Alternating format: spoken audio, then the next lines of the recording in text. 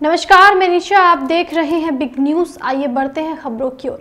अमरपुर थाना क्षेत्र के बलिकित्ता गाँव में तांत्रिक का आरोप लगाते हुए एक हदेड़ की दबंगों ने कुदाल से पीट पीट कर हत्या कर दी।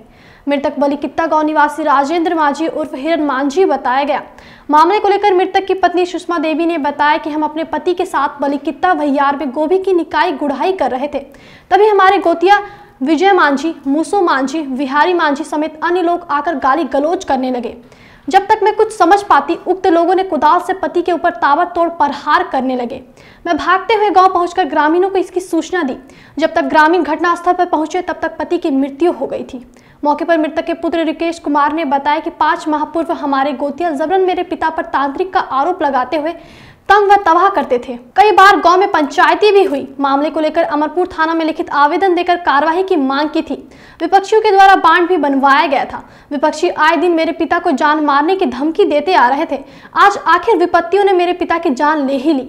उधर दूसरी तरफ़ घटना की सूचना मिलते ही थाना अध्यक्ष अरविंद कुमार राय, अवर निरीक्षक राजेश कुमार सिंह, सहायक अवर निरीक्षक महेश्वर पासवान पुलिस कर्मियों के साथ घटनास्थल पर पहुंचकर सबको कब्जे में लेते हुए पोस्टमार्टम के लिए बांका भेज दिया। मौके पर थाना अध्यक्ष ने घटना को गंभीरता से लेते हुए हत्या में शामिल विजय मांझी, मूसो मांझी एवं बिहारी मांझी को गिरफ़्तार कर लिया। घटना के बाद पूरे ग्रामीण हाथ पर दिख रहे थे। ग्रामीणों ने बताया कि मृतक काफ़ी मृदुल स्वभाव के व्यक्ति थे। मृतक मजदूरी कर अपना और अपने परिवार का भरण पोषण करते आ रहे थे। मृतक को दो बेटे हैं, जिसमें बड़ा बेटा राजेश मांझी दिल्ली में रहकर मजदूरी करते हैं, जबकि छोटा बेटा रिकेश कुमार अमरपुर पेट्रोल पंप पर कार्यरत है।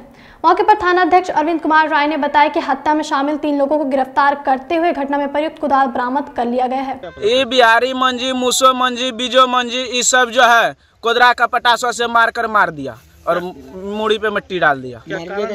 कारण सर डैन ओझा कह के आज से दो महीना तीन महीना पहले से झगड़ा चल रहा है जिसके कारण से आज तक पंचायती हुआ बॉन्ड पेपर बना उसमें वो सब बॉन्ड भरा उसके बाद थाना में पेश किए थे कागज़ जिसके पंच द्वारा वो फैसला हुआ। फैसला होने के बाद बोला आज के बाद हम कभी कुछ नहीं करेंगे जो कि आज उसने मेरे पिताजी को मारकर बिहार में मार दिया। अमरपुर थाना क्षेत्र के पाटकी गाँव में बिजली के करंट लगने से एक महिला मूर्छित हो गई। गंभीर स्थिति में महिला को इलाज के लिए रेफर अस्पताल लाया गया, जहाँ डॉक्टर मुकेश कुमार के द्वारा जख्मी फंटूस मंडल की पत्नी सरिता देवी का प्राथमिक उपचार किया गया। मौके पर महिला के परिजनों ने बताया कि आँगन में अचानक बिजली की तार गिर गई, जिसकी चपेट में आने से महिला मूर्छित होकर ज़मीन पर गिर गई। आनंद फानंद में महिला को गाँव में स्थित डॉक्टर के पास ले गए, जहाँ प्राथमिक उपचार कर डॉक्टरों ने बेहतर इलाज के लिए अमरपुर अस्पताल भेज दिया। भागलपुर में एक बार फिर तीन तलाक का मामला सामने आया है। दरअसल, एनटीपीसी थाना क्षेत्र निवासी एक महिला ने अपने पति मोइन अंसारी पर मारपीट करने, गर्भपात कराने और तीन तलाक देने का आरोप लगाया है।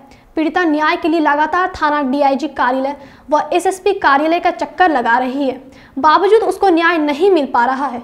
आज फिर पीड़िता महिला मानवाधिकार संगठन के सदस्यों के साथ एसएसपी कार्यालय पहुँची और एसएसपी निताशा गुड़िया से मिल आवेदन दिया। एसएसपी ने उन्हें जाँच करवाकर कार्रवाई करने का आश्वासन दिया है। पीड़िता ने बताया कि 4 नवंबर 2017 को उसकी शादी काजीपुर कहलगांव के मोइन अंसारी से हुई थी। दो साल से ससुराल वाले लगातार दहेज के लिए प्रताड़ित कर रहे थे, जबकि शादी के समय उन लोगों की सारी डिमांड पूरी कर ली गई थी। पीड़िता ने बताया कि उसका गर्भपात भी करा दिया गया और मारपीट की जा रही थी और 3 अक्टूबर 2020 को वीडियो कॉल पर तलाक दे दिया। हम न्याय के लिए एसएसपी कार्यालय पहुँचे हैं। उम्मीद है न्याय मिलेगी। हाल देखना अब यह होगा कि अब भी पीड़िता थाना और वरीय पुलिस अधिकारियों का दरवाज़ा खटखटाती है या फिर उसे न्याय मिलेगा। दो महीने पहले मिले थे लेकिन कुछ कार्रवाई नहीं हुई मिले। और कुछ और कौन अधिकारी? और डीआईजी तक से भी मिले मामला तीन तलाक का है। इनका दो महीना पहले केस दर्ज किया गया था और पहले भी इनका हम लोग ही जा करके दिए हुए थे लेकिन अभी तक कोई कार्रवाई किया नहीं गया था। जहाँ कोविड 19 की वैक्सीन आने से आमजनों में खुशी का माहौल है, वहीं दूसरी तरफ़ कोरोना के नए स्ट्रोन ने एक नई चिंता पैदा कर दी है। दरअसल, ब्रिटेन से भारत लौटे कई लोगों में कोरोना वायरस के नए रूप के संक्रमण की पुष्टि हुई है, जिसे लेकर नौगछिया पुलिस प्रशासन चुस्त दुस्त नज़र आ रहे हैं, जहाँ नौगछिया के पुलिस अधीक्षक सुशांत कुमार सरोज के निर्देश पर पुलिस जिला नौगछिया के विभिन्न क्षेत्र में सघन मास्क चेकिंग अभियान चलाया जा रहा है। इसी कड़ी में बुधवार की दोपहर नौगछिया अनुमंडल पुलिस पदाधिकारी दिलीप कुमार और एसडीओ अखिलेश कुमार कुमार के संयुक्त नेतृत्व में अनुमंडल कार्यालय के समीप एन एच पर सघन मास्क चेकिंग अभियान चलाया गया, जहाँ बिना मास्क पहने व्यक्ति को पचास रूपए का जुर्माना काटा गया और कड़ी हिदायत देकर छोड़ा गया। कई लोगों ने चेकिंग की स्थिति भाप कर निकल गए, जबकि अधिकांश बिना मास्क पहने व्यक्ति पुलिस की पकड़ में आ गए और चालान कटवाना पड़ा। वहीं कई लोग बहानाबाजी करते दिखे, लेकिन पुलिस के सामने उनकी एक ना चली और अंत में चालान कटवाकर आगे बढ़ना पड़ा। खबर लिखे जाने तक नौगछिया थाना क्षेत्र के अनुमंडल कार्यालय समीप एन एच पर बिना मास्क के घूम रहे 50 लोगों से 50-50 रुपए का चालान काटा गया।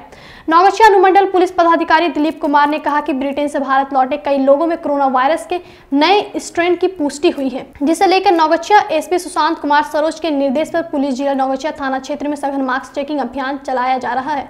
पुलिस जिला नौगछिया अनुमंडल अंतर्गत सभी अंचल कार्यालय के सीओ व सभी थाना के थाना अध्यक्ष को मास्क चेकिंग के साथ लोगों में मास्क पहनने को लेकर जागरूक करने का निर्देश दिया गया है, जिससे हम सभी कोरोना वायरस के नए स्ट्रेन का डटकर सामना कर सकेंगे और लोग पहले की तरह फिर से मास्क पहनकर घर से बाहर निकले। अभी एसडीओ साहब और हमारे नेतृत्व में मास्क फाइन किया जा रहा है।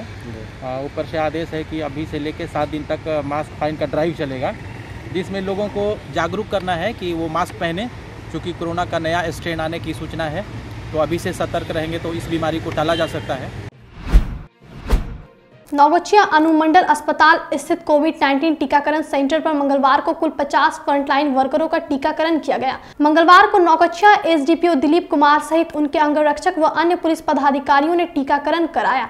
नौगछिया प्राथमिक स्वास्थ्य केंद्र के स्वास्थ्य प्रबंधक ओम गुप्ता ने बताया की मंगलवार को कुल पचास लोगों का टीकाकरण किया गया है, जिसमें पुलिस पदाधिकारी व पुलिसकर्मी नगर पंचायत के कर्मी व आरपीएफ के जवानों का टीकाकरण किया गया है। अब तक के लिए बस इतना ही, फिर होगी मुलाकात, तब तक के लिए नमस्कार।